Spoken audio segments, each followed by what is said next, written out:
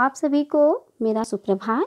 मेरा नाम अर्चना खरे है मैं आपकी हिंदी शिक्षिका हूँ।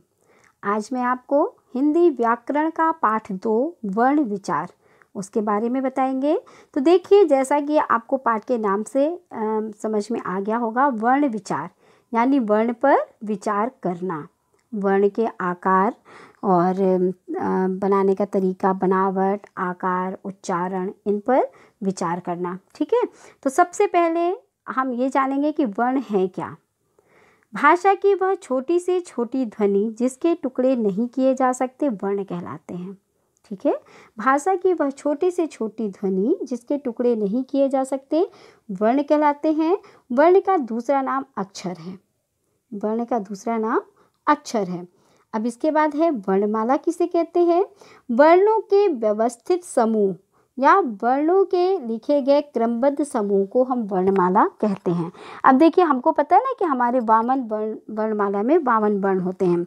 मतलब कहना चाहिए, आ से लेके ज्ञा तक जितने भी वर्ण हैं, वो हमारे वर्णमाला के अंतर्गत आते हैं। तो अगर हम आ के बाद का लिख दे, का के बाद टा लिख दे, टा के बाद ना लिख दे, ना के बाद माँ लिख दे तो क्या वो वर्णमाला हमारा सही सही होगा? नहीं। क्यों? क्योंकि वो क्रम से लिखा हुआ नहीं है। वर्ण का समूह तो है मगर वह वर्णमाला नहीं कहलाएगा। क्यों? क्योंकि वो क्रम से एक लाइन से या क्रम से या व्यवस्थित तरीके से लिखा हुआ नहीं है, इसलिए हम उसको वर्णमाला नहीं कहेंगे। वर्णमाला क्या है? आ आ, ई ई, उ ऊ री, ऋषि का, ए ए, ओ, औ, अंग आहा फिर का से लेके पूरा ज्ञा तक मतलब छोटा आ से लेके ज्ञा ज्ञानी तक पूरा क्रम से लिखना, ये वर्णमाला कहलाता है। क्लियर हो गया आपको? ऐसा नहीं है कि वर्णमाला में आपने वामन बावन वर्ण तो लिख दिए, आगे, पीछे, ऊपर, नीचे, और आप कह दो ये वर्णमाला है। नहीं, वो गलत हो जाएगा। क्यों? क्योंकि वर्णों के क्रमबद्ध समूह को हम वर्णमाला कहते हैं। क्रम से लिखे हुए समूह को वर्णमाला कहा गया है। क्लियर हो गया ना? अब देखिए, वर्णों के भेद। वर्ण के तीन भेद हैं, स्वर, अयोगवाह और व्यंजन। ठीक है? स्वर, अयोगवाह और व्यंजन। तो सबसे पहले अब हम जानते हैं कि स्वर क्या है। तो देखिए स्वर उन वर्णों को कहते हैं जिनका उच्चारण करते समय किसी अन्य वर्ण की सहायता की आवश्यकता नहीं होती। ठीक है? सरल तरीके से हम ये कह सकते हैं कि जो वर्ण स्वतंत्र रूप से बोले जाते हैं, उन्हें हम स्वर कहते हैं। जो वर्ण स्वतंत्र रूप से बोले जाते हैं, उन्हें हम स्वर कहते हैं। स्वरों का उच्चारण करते समय हवा मुख से बिना किसी रूपकावट के निकलती है, उसे हम स्वर कहते हैं। ठीक है? तो स्वर की तीन परिभाषाएँ हैं। जिन वर्णों के उच्चारण करते समय हवा मुख से बिना रुकावट के बाहर निकलती है, उन्हें हम स्वर कहते हैं। दूसरी परिभाषा है, जो वर्ण स्वतंत्र रूप से बोले जाते हैं, उन्हें हम स्वर कहते हैं। या जो वर्ण को बोलने में, उच्चारण करने में किसी अन्य वर्ण की सहायता की आवश्यकता नहीं होती, उसे हम स्वर कहते हैं। ठीक है? तीन परिभाषाएँ मैंने आपको बताई हैं स्वर की। अब स्वर संख्या में ग्यारह होते हैं। अ आ इ ई उ ऊ री ए ए ओ औ। ये आपके कितने स्वर हैं? ग्यारह। हिंदी में आपके ग्यारह स्वर माने गए हैं। ठीक है? अब देखिए इन स्वरों के भी भेद हैं। स्वर के तीन भेद हैं। ठीक है? सबसे पहला है रस स्वर। इस आ, स्वर में वर्ण को बोलने में कम समय लगता है। ह्रस्व स्वर में वर्णों को बोलने में कम समय लगता है, जैसे आ, ई, उ, री। ठीक है? जिन स्वरों के उच्चारण में कम समय लगे, जिन स्वरों के उच्चारण में कम समय लगता है, उसे हम ह्रस्व स्वर बोलते हैं। ये संख्या में चार होते हैं। आ, ई, उ, री। देखो, बिल्कुल कम समय लगा ना इनको बोले में। आ, ई, उ, री। तो ये कौन से वर्ण कहलाएँगे? ह्रस्व स्वर ठीक है? कौन से स्वर है ये? ह्रस्व स्वर। अब दीर्घ स्वर देखिए, जिन स्वरों के उच्चारण में ह्रस्व स्वरों के उच्चारण से दुगना समय लगता है, उन्हें दीर्घ स्वर कहते हैं, ठीक है? मतलब ह्रस्व स्वर से दुगना, जैसे आ, ई ऊ री, ये तो बहुत सिंपल बहुत कम समय में बोला। अब इससे दुगना समय जब लगे तो वो कहलाते हैं दीर्घ स्वर, जैसे आ, ई ऊ ए ए ओ, औ। इनको बोलने में दुगना समय लगा ना? आ आ, इ, ई, उ ऊ ए ए, ओ ओ। आपको समझ में आ गया होगा उच्चारण के द्वारा कि जो ह्रस्व स्वर हैं, आ ई उ, री, इनमें कम समय लगता है और बड़ा, आ, बड़ी, ई, बड़ा ऊ ए ए, ओ ओ, इनको बोलने में दुगना समय लगता है। इसलिए ये स्वर क्या कहलाते हैं? दीर्घ स्वर। ठीक है? ये संख्या में सात होते हैं। कितने होते हैं? सात सात दीर्घ स्वर हो गए आपके और चार ह्रस्व स्वर हो गए। इस तरीके से आपके स्वर की संख्या कितनी है? ग्यारह। इसके बाद है प्लुत स्वर। इसके उच्चारण में ह्रस्व स्वरों की अपेक्षा तिगुना समय लगता है। जैसे ओम। ओम में जो बीच में तीन बना हुआ है, वो हिंदी के तीन के जैसा। इसको लिखा जाता है प्लुत स्वर को। ठीक है? यह अधिकतर संस्कृत के शब्दों में ही प्रयोग किया जाता है। जैसे उच्चारण करिए ओम का। देखिए, आपको कितना समय लगता है? ओ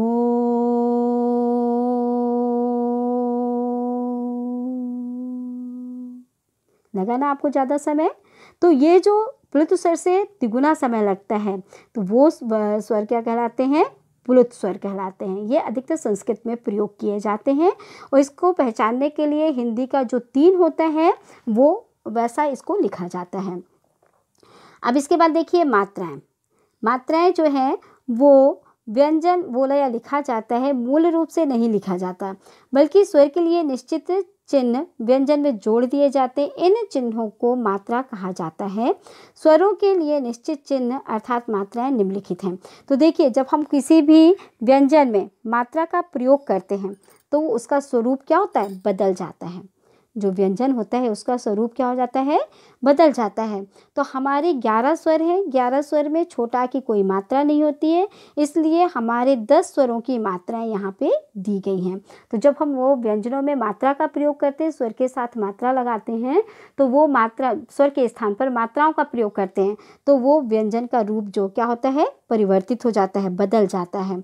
जैसे आ में जैसे का में आ की मात्रा लगा दी, काला की किस की कील कु, कुल, कु, कूप, क्र, कृपा, के, केला, कै, कैसा, को, कोटा, कौ, कौवा।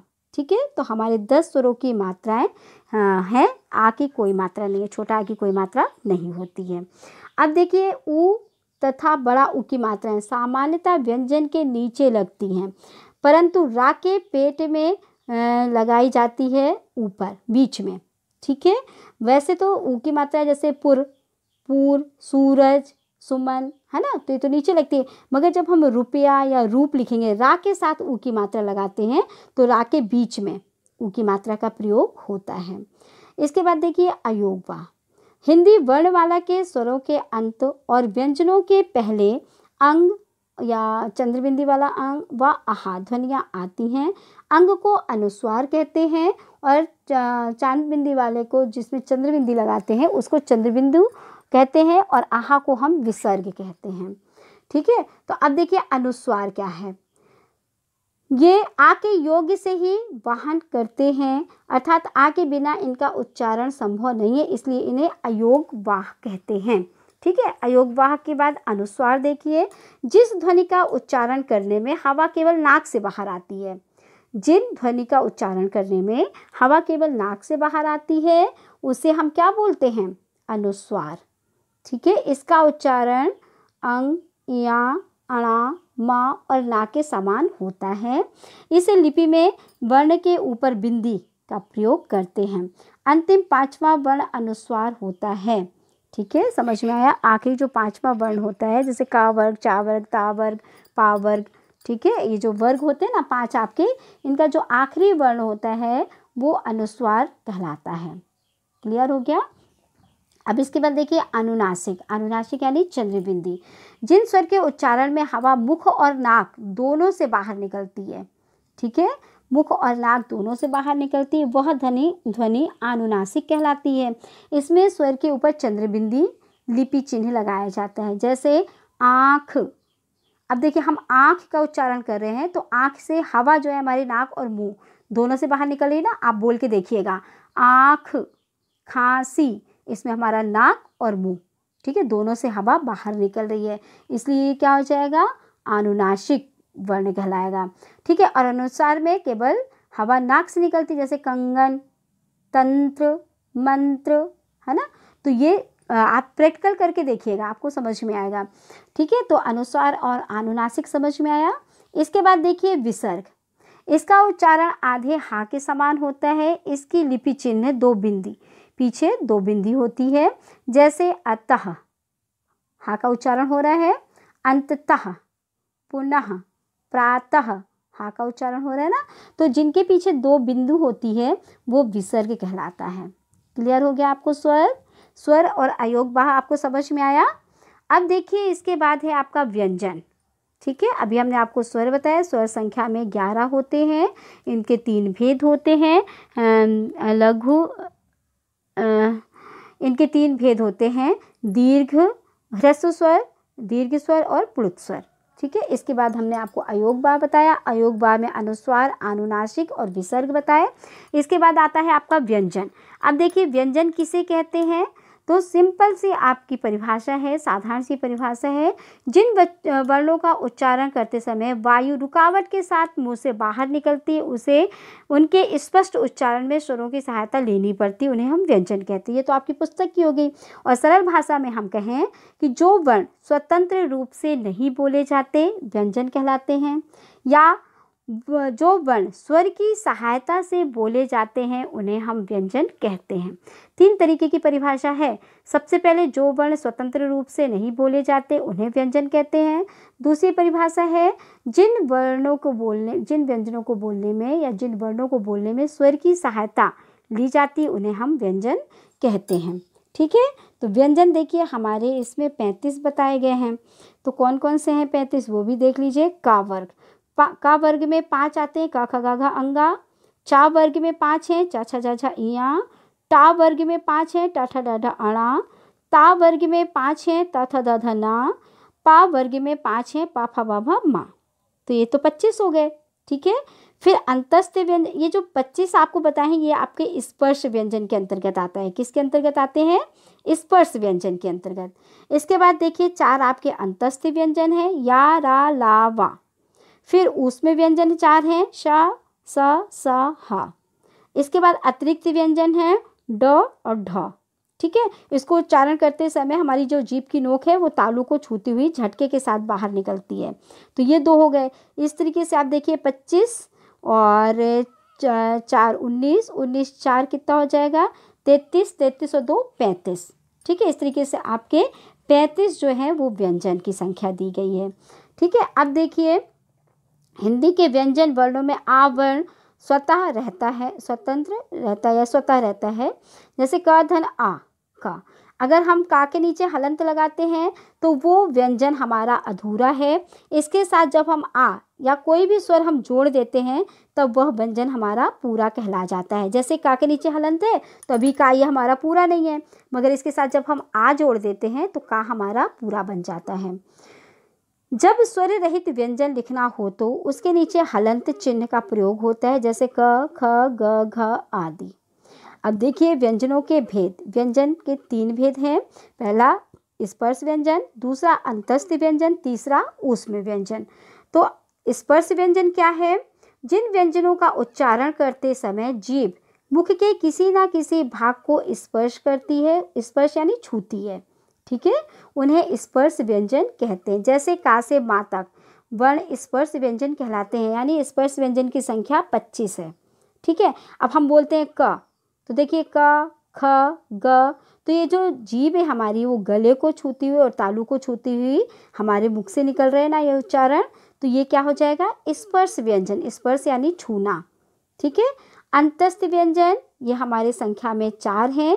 इसके उच्चारण के समय जीभ का पूरा स्पर्श मुख के किसी विशेष भाग के साथ नहीं होता।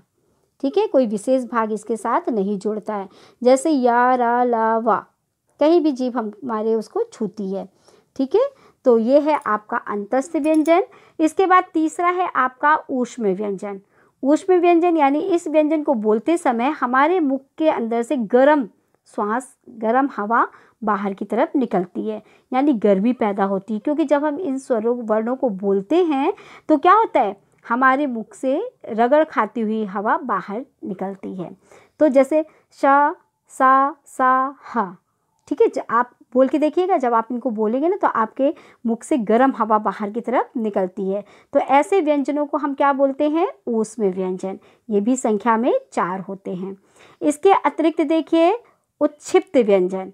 जो अतिरिक्त व्यंजन हैं, उनको उत्क्षिप्त व्यंजन भी हम कहते हैं। ये संख्या में दो होते हैं। इनका उच्चारण करते समय जीभ का जो नोक होता है, वो ऊपर तालू को छूता हुआ झटके के साथ बाहर छोड़ता है। जैसे ड, ढ। ठीक है? इसको भी आप बोल के देखिएगा, आपको सारा कुछ समझ में आएगा। अब देखिए संयुक्त व्यंजन। दो विभिन्न व्यंजनों के मेल से बने व्यंजन को हम संयुक्त व्यंजन कहते हैं।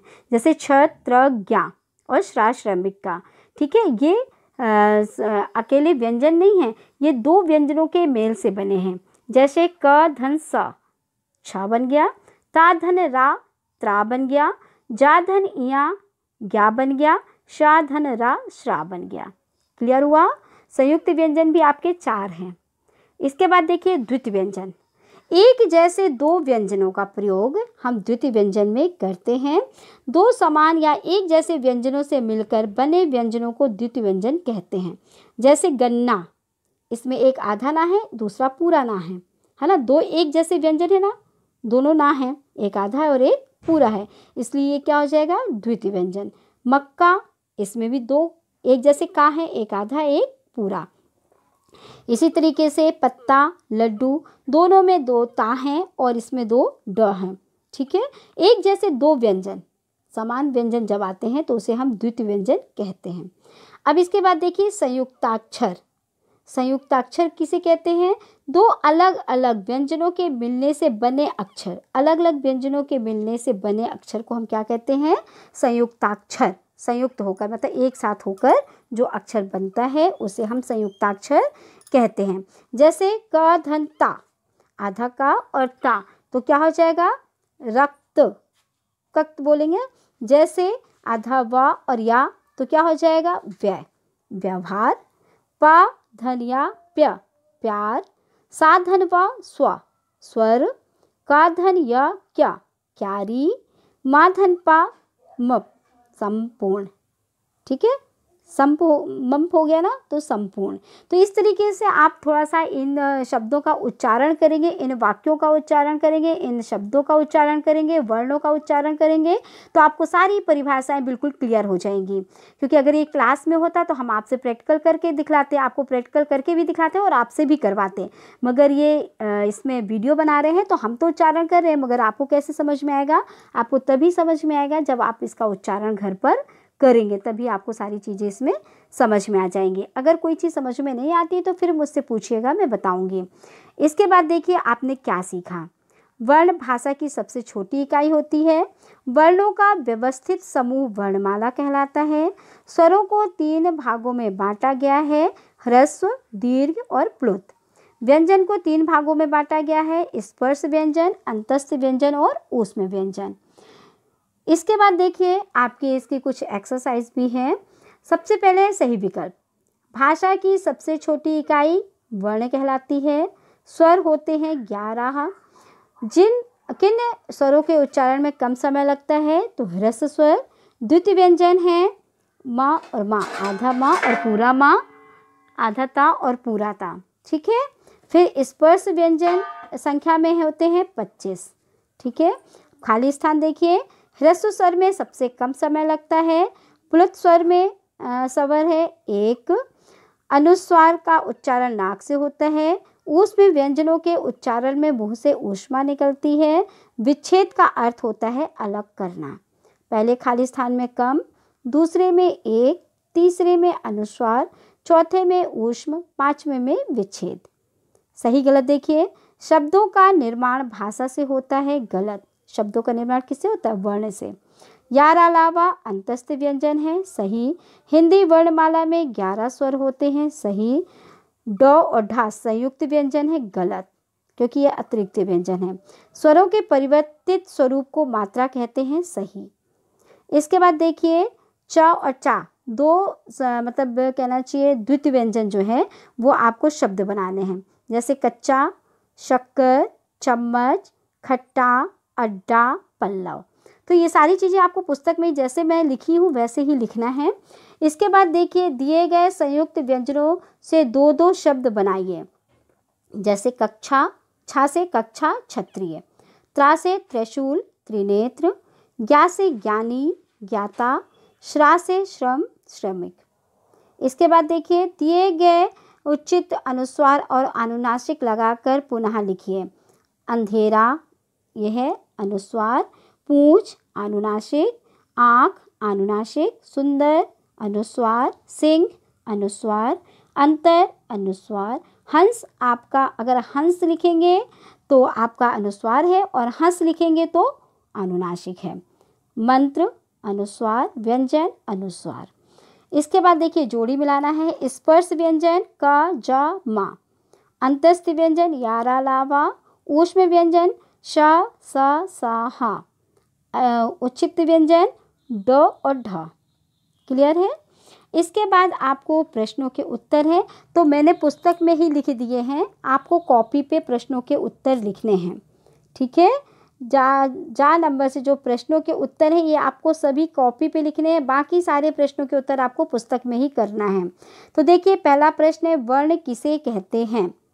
उत्तर है भाषा की वह छोटी से छोटी ध्वनि जिसके टुकड़े नहीं किए जा सकते वर्ण कहलाते हैं। स्वर कितने प्रकार के होते हैं उनके नाम लिखिए।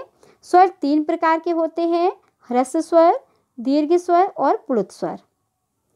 ह्रस्व तथा दीर्घ स्वर में अंतर बताइए। तो पहले हम ह्रस्व स्वर बता रहे हैं। ह्रस्व स्वर को बोलने में कम समय लगता है। ये संख्या में चार होते हैं, आ, ई उ री। दीर्घ स्वर इनको बोलने में ह्रस्व स्वर से दो गुना समय लगता है। ये संख्या में सात होते हैं। आ, ई, उ, ए ए ओ, औ। इसके बाद मात्रा किसे कहते हैं? उत्तर है, स्वरों के परिवर्तित स्वरूप को मात्रा कहते हैं। प्रश्न पांचवा, व्यंजन का क्या अर्थ है? इन्हें कितने भागों में बांटा गया है? उत्तर है जो वर्ण स्वर की सहायता से बोले जाते हैं, उन्हें व्यंजन कहते हैं। इन्हें तीन भागों में बांटा गया है, स्पर्श व्यंजन, अंतस्थ व्यंजन और ऊष्म व्यंजन। इसके बाद प्रश्न नंबर छठवा है, संयुक्त व्यंजन की परिभाषा दीजिए। उत्तर है, दो भिन्न व्यंजनों के मेल से बने व्यंजन को संयुक्त व्यंजन कहते हैं। ये संख्या में चार होते हैं, छ, त्र, ज्ञा और श्रा श्रा श्रमिक वाला। ठीक है? तो केवल प्रश्नों के उत्तर एक, दो, तीन, चार, पाँच छः छः प्रश्नों के उत्तर आपको कॉपी पे करने हैं। बाकी सारे प्रश्नों के उत्तर आपको पुस्तक में ही करके, जो भी तारीख आपको बताई जाती है, उसमें भेजना है। और यदि कोई समझ में नहीं आता तो आप मुझसे पूछ लीजिएगा। धन्यवाद।